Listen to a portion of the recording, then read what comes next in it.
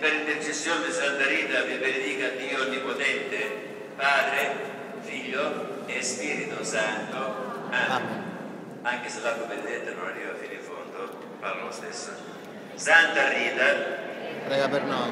adesso benedico la rosa, chi deve restare per la messa resta per la messa, chi deve uscire dalla porta centrale o dalla porta